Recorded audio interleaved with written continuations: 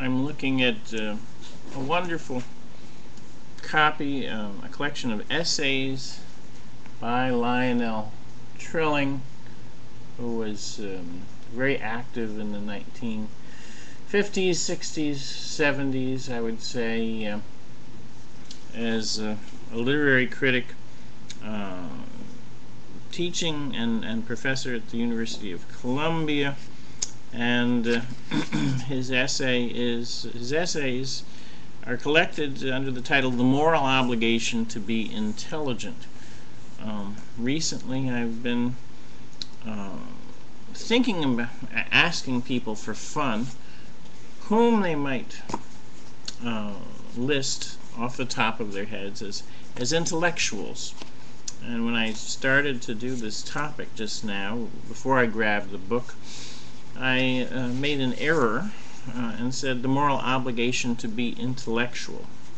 I corrected myself. It's the moral obligation to be intelligent here. But then I ask uh, any of you that might be listening this question, who would you, off the top of your head, anyone, politicians, uh, writers, uh, what have you, who would you cite as an intellectual uh, and who would you cite as, as very much not an intellectual. Uh, I feel that Obama is and, and, and the Clintons are intellectuals. I feel that Bush uh, is not.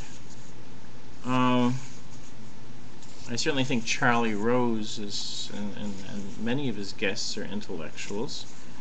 Um, but I asked myself just now, the moral obligation to be intelligent.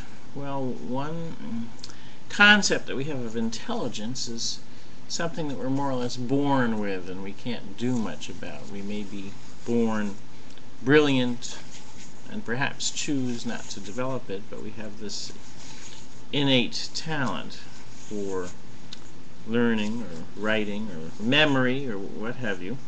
And others uh, perhaps one are born with less gifts, less ability. They have to struggle very hard to get even an, an elementary um, degree of sorts. And no matter how hard they try, they can't really go advance much beyond the the tether of their natural abilities. Um, just looking at uh, the contents here, we have um, The America of John Dos Passos, Hemingway and his critics, T.S. Eliot's, Eliot's politics, The Immortality Ode, Kipling, Reality in America, Art and Neuroses, uh, Manners, Morals, and the novel, The Kinsey Report, Huckleberry Finn, The Princess, uh, Casamassima, Wordsworth and the Rabbis. Um, I should mention Lionel Trilling was uh, his background, his family is Jewish, and I think he was raised in Brooklyn, but uh, his uh, rather secular Jewish background. He, in one essay, he mentions that he, when he was supposed to be doing Torah studies, he was actually reading um, uh, Pirkei Avot, which was in the front of the book. It means the sayings of the fathers, uh, rabbinical sayings, which I suppose, which interested him as a boy and was far more um, interesting to him from uh, a secular point of view than uh, what he was supposed to be uh, studying, the Hebrew or what, what have you. Uh, Dean, uh, William Dean Howells and the Root of Modern Taste, The Poet as Hero, Keats and His Letters, George Orwell and Political Truth, the situation of the American intellectual at the present time, Mansfield Park, Isaac Babel, the morality of inertia, smi that smile of Parmenides made me think, The Last Lover, a speech on Robert Frost. Oh, he got some heck from that in the press. He said something about Frost, uh, who was quite aged at the time, resembling the bald eagle, the American bald eagle with its white head. Um, on the teaching of modern literature, the Leavis Snow uh, Leavis Snow controversy, The Fate of Pleasure, James Joyce in his letters, The Mi- Mind in the Modern World, Art, Will, and Necessity, Why We Read, read Jane Austen. Uh, I have the habit when I read certain books, I, I make a little mark of a page in the front. I'll put page numbers that catch my attention.